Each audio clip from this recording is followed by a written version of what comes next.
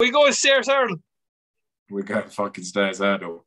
It's going to be a great race this year. God. So I jokingly said that the Ryanair was potentially one of two feature The races. The best race of the festival is the Stayers' Hurdle. No, it's not. The Queen Mother Champion Chase is the best. No, it's not. Stayers' Hurdle. Daryl Carter and Jamie Ryan will totally agree in this race. It's C H A M P. I haven't even introduced it yet, and you've given a dud tip. Right, it's the stayers' hurdle for the Thursday. The beauty of this race this year is like again, I've I love the stayers' hurdle division, even as novice hurdlers. We all talk about the fact that it's the like the fourth tier of national hunt racing, but it's a it's a, like a renewal like this year that is really exciting. Like Jamie's even quoted there, it could be the race of the festival. I'm really excited about it. And also from an ante-post perspective, this is one that I'm actually really glad I'm not invested in before because sometimes you could be swayed just because you get stuck into something at a certain point. I'm happy to leave things and wait. So my take on the stayers' hurdle, I will say for the very end of it. Jamie's already alluded to one that he likes in here. Daryl, I cannot start in a race that's got champ in it and not start with you. So twofold with champ. One, do you think they will definitely go to the stayers' hurdle? So, like, yes or no on that. And then, secondly, I mean, if they're going to go to the stayers' hurdle, does champ win it? Okay, no, no, I don't think they definitely go. The reason being because of his age and connections one up with Chantry House, you know, whatever, they could go to the Gold Cup. Should they? Yes, my goodness me, yes, they should. Um, it's working out to be a hot race, but we're going back to Cheltenham, baby, to a champ. we're going back for champ, Dave. We're going to be screaming in the Guinness Village again. So, so before you get too excited about him, like I said, bet fees five. I've got non-runner no bet. Seven to two champ, non-runner no bet. So you haven't got to worry about the fact that he might not turn up in, a, in the race. So it's seven to two versus two to one classical dream. Just got to worry about getting a Betfit 365 account now.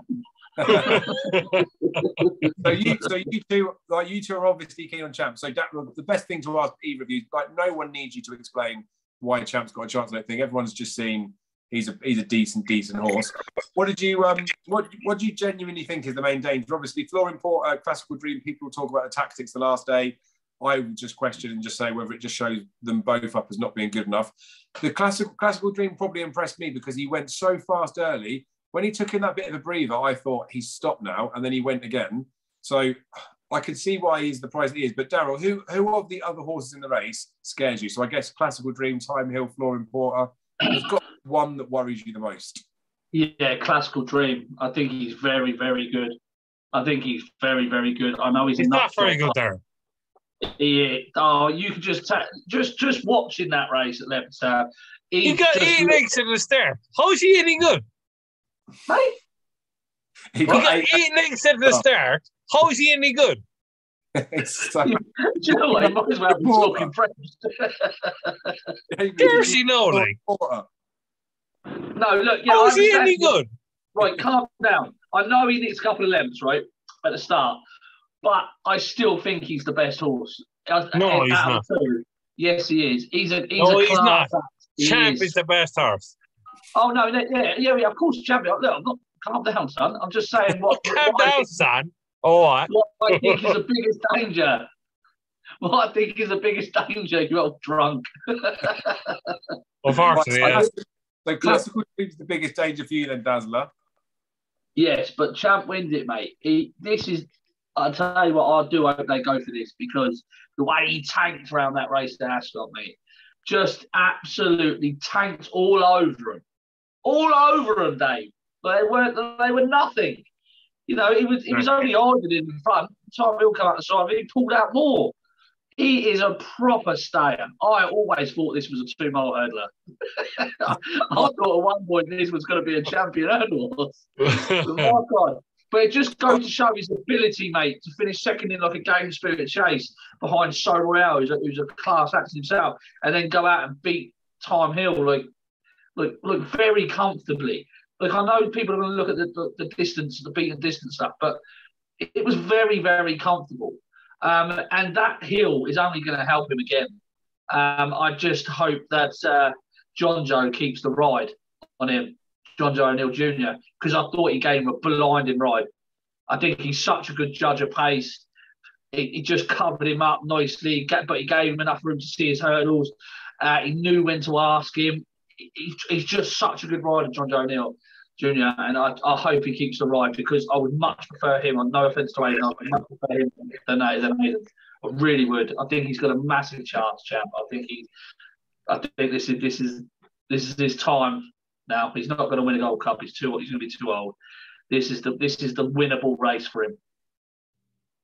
Happy days. So, Jamie, who of the other ones, so away from Champ, because we know you both fancy Champ quite strong in it, and you obviously don't rate Classical Dream as a danger. Who would be your biggest danger, Champ, do you think? Nobody. Oh, I love, I love the confidence. See, the thing is, like, you two are making me feel like I want to absolutely nap Champ and just not sway away from him. But there's a little part of me with Champ after that new one last year. I know it's different because he was going in a Gold Cup and he just looked like a different horse. Yeah.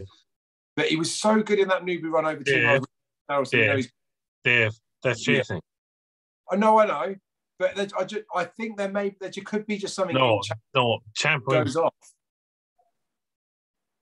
Do you not think there could be something off him that goes off now? Like he needed, maybe he needs the big break. Yeah, no, hold on. Would, would it make a point now for Colonial Mustard over there, like over there, right? All of a sudden, right? Colonial Mustard, right?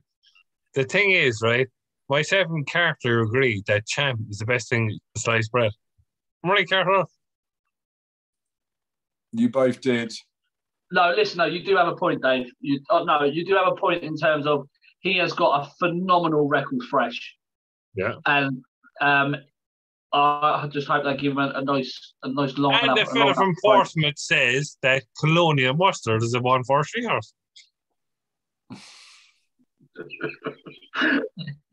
You're going on mute, Sandy Carroll.